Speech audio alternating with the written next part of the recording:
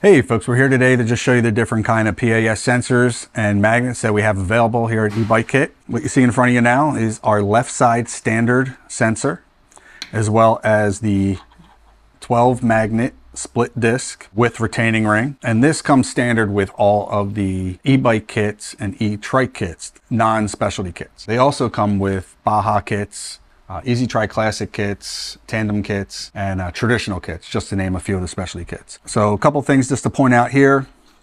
I said with the magnet, on some installs it might be necessary. You see these fins right here, to take them off, you might have to modify this a little bit, which is fine. But in most cases, you just take the ring off, you put this on the crank, and we'll show you an install uh, a little bit later on. And then just put the retaining clip back on. With the sensor, same thing, sometimes a little modification is necessary. We have this uh, little swivel clip here that comes in handy, but sometimes you might not need it. So it's, it's perfectly fine to cut these little uh, tabs off. So this way it'll lay flat and you can just zip tie it uh, to the frame of the bike. So the next sensor options we have, they're right side bottom bracket mount uh, PAS sensors. Uh, and we have two kinds available here.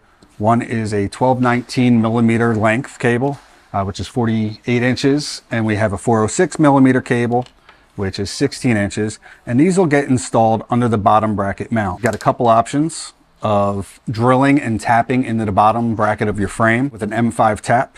Um, but if you don't want to do that, you can also just put a uh, couple zip ties in and it'll adhere right to the frame. Both of these are used in conjunction with a we call it split disc chainring magnet, and it is used for a four bolt, 64 millimeter BCD, which is the bolt circle diameter, or a five bolt, uh, 74 BCD. Here's an example of a four bolt. You can see there's little notches already cut out on the magnet. So you don't need this retaining clip. So the grooves just go right over the bolts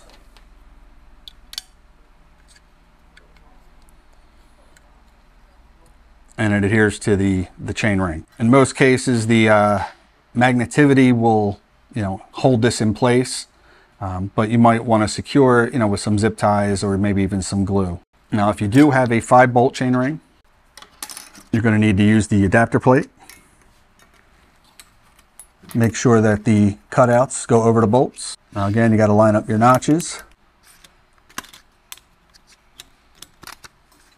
And again, you might want to use some glue or some zip ties to hold it in place, but right now the, the magnets are holding it to the chainring. Just a way to uh, install one of these bottom bracket PAS. So you see we already have the chainring magnet installed. This would really just fit on the bottom bracket like this.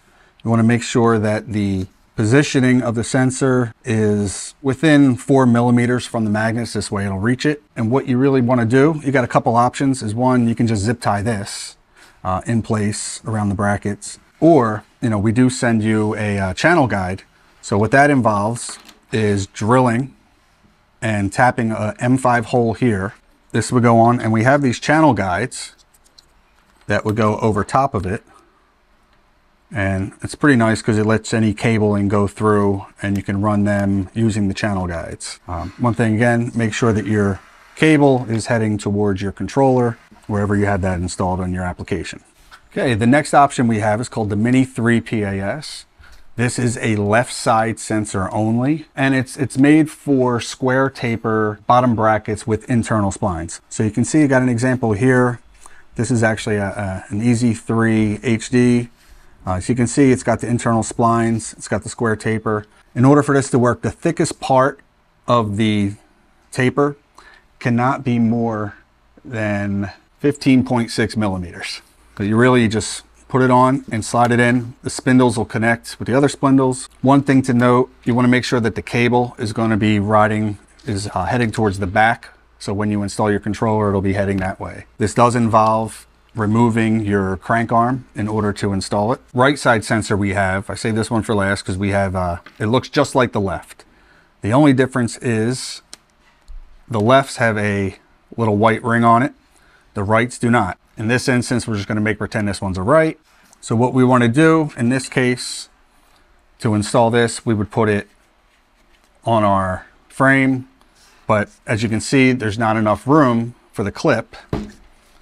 So you're gonna need to cut off the little tabs here. And then once you do that, you should have enough clearance where the sensor will now read the magnets. So here's just a quick install, an example of a left side install. So you can see we already have the split disc magnet on. We had to cut some of the fins out. And we also put a zip tie here to keep it in place um, when it comes to holding the magnet. So this is a left again on the sensor. So I, you can see you might have enough room, but I would recommend on this, taking the tabs off and then installing it with zip ties to the frame right here. Make sure your cable is going towards the controller. That's it.